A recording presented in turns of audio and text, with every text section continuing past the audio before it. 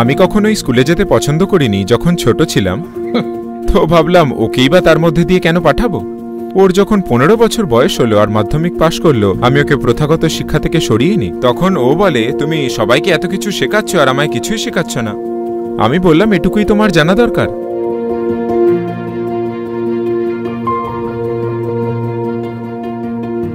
আমি অনেক দিকে ব্যস্ত ছিলাম, তাই আমার কখনো মনে হয়নি যে আমাদের নিজেদের একটা সন্তান হোক। কিন্তু আমার স্ত্রী বললেন, অন্তত একটা। তো আমি বললাম, ঠিক আছে, একটা, একটাই।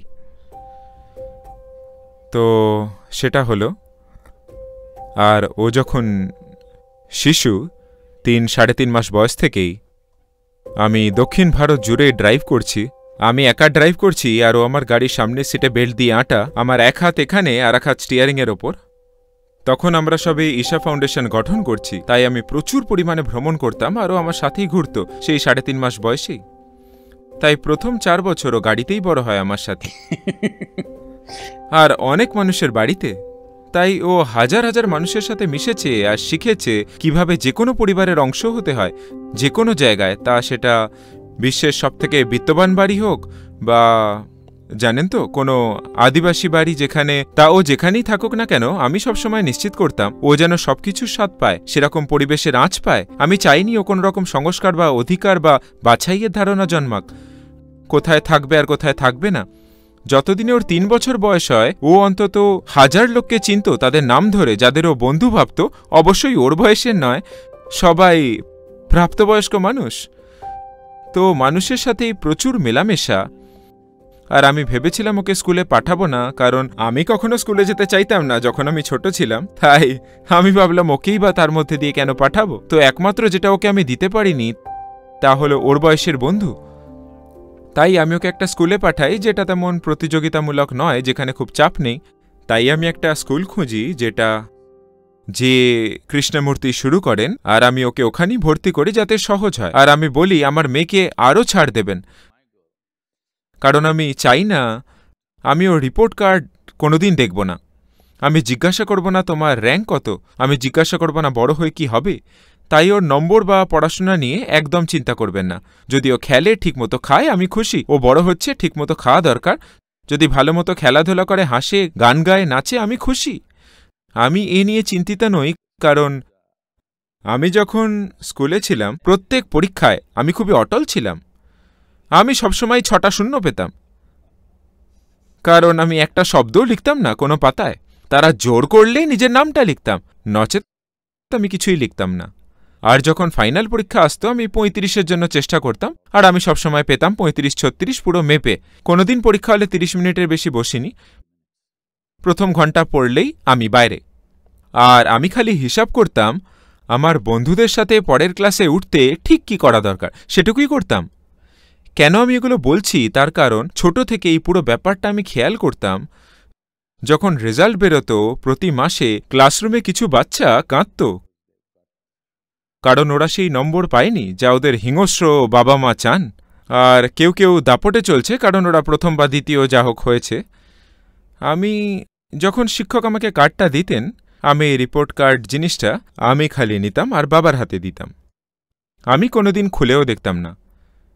কারণ আমি ভাবতাম এটা একটা লেনদেন টিচার আর আমার বাবার মধ্যে। আমি নাক গলিয়ে দেখতে চাই না যে কি চলছে সেখানে। তাই আমি বিশেষ করে অনুরোধ করেছিলাম স্কুলের প্রিন্সিপালকে, আমার মেয়ের পড়াশোনা নিয়ে একদম চিন্তা করবেন না, আমি খালি চাই ও সমবয়সী বাচ্চাদের সাথে মিশুক, ভালো খাক, খালি খেয়াল রাখবেন যেন ঠিকমতো খায়, সেটাই আমার একমাত্র চিন্তা। ও ঠিকমতো খায়, ও খেলছে, হাসছে, লাফাচ্ছে, নাচছে, আমি একদম খুশি। তো যখন ও এলো, যখন ওর পনেরো বছর হলো আর মাধ্যমিক পাশ করল, আমি ওকে প্রথাগত শিক্ষা থেকে বের করে আনলাম। আর কারণ ওর মায়ের স্বপ্ন ছিল আর মেয়েও খুব আগ্রহী ছিল, আমি ওকে নাচে ভর্তি করলাম। আরও ভারতনাট্যম শিখতে লাগল আর এখনও এই দেশের উদীয়মান শিল্পীদের একজন। তো আমি কখনোই ওর সাথে বাচ্চার মতো আচরণ করতাম না, প্রথম বিষয়। দু বছর বয়স থেকেই মুখে বুলি ফোটার সময় থেকেই ওর সাথে ব্যবহার করতাম সমান হিসাবে। প্রাপ্তবয়স্ক হিসাবে। আমি দিতাম যেটুকু, বুঝলেন তো? একটা ফাউন্ডেশন তৈরি করছিলাম, একটা স্বেচ্ছাসেবক চালিত ফাউন্ডেশন স্বেচ্ছাসেবক মানে আমরা নানা রকম কাজ করছি। আমরা ব্যবসা সামলাচ্ছি, বড় বড় প্রজেক্ট আর বিশ্বব্যাপী কাজকর্ম। কয়েকজন শিক্ষক বাদে একজনও কেউ কাজটার জন্য প্রশিক্ষিত নয়। ঠিক আছে? কারণ আমি পারি না বা আমার ধৈর্যও নেই অপেক্ষা করে কাউকে আইআইটি বা আইআইএম থেকে বা কোথাও থেকে বাছাই করার। আপনাদের সবার দ্বারা যারা বাতিল হন, তারাই বোধহয় আমার কাছে আসে। যেই আসে, তাকে আমি নিয়ে নিই আর বসাই এই কাজে, ওই কাজে, নানান রকমের কাজে। তো যা এক কথায় করা সম্ভব, আমায় বলতে হয় একশোটা শব্দ তাদের বোঝাতে, তাদের কাজে লাগিয়ে, তাদের প্রতিজ্ঞাবদ্ধ রাখতে, কাজ চালিয়ে যেতে। কারণ তারা স্বেচ্ছাসেবক, আপনি তাদের ছাঁটাইও করতে পারবেন না।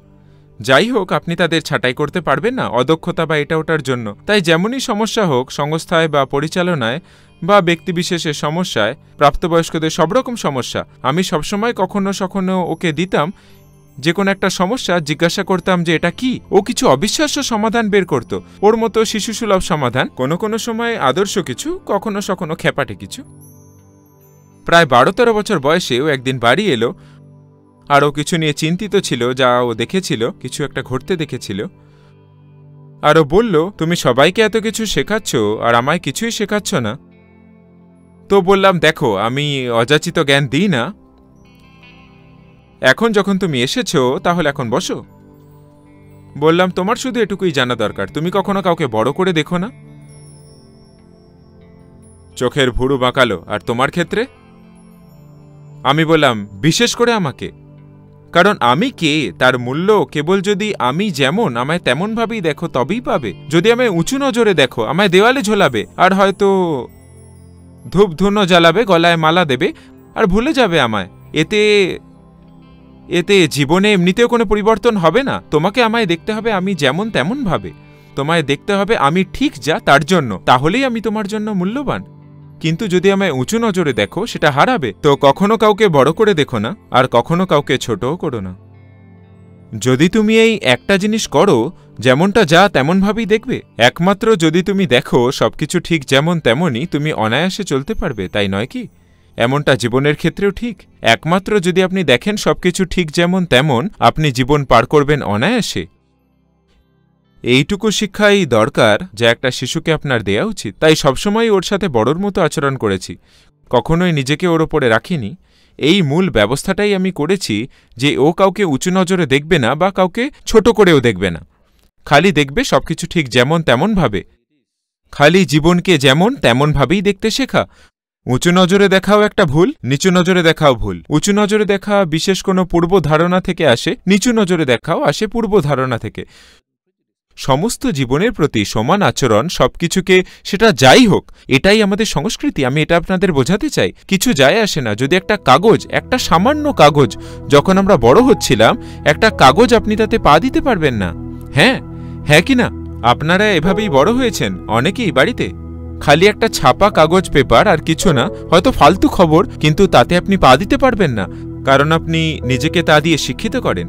যদি আপনি মাটিতে পা দেন, তাকে প্রণাম করবেন। আপনি কিছুকেই উঁচু নজরে দেখেন না বা নিচু নজরে দেখেন না? যা আপনি আপনার ভগবানের প্রতি করেন, তা করেন সবকিছুর সাথে। এটা কোনো সংস্কৃতি বা ধর্ম সম্পর্কে নয়। আমি এমনিই ওর জীবনে এটা নিয়ে আসি, আমার মনে হয় এটা দারুণ কাজে দিয়েছে। খুবই দারুণ, ওর জন্যে।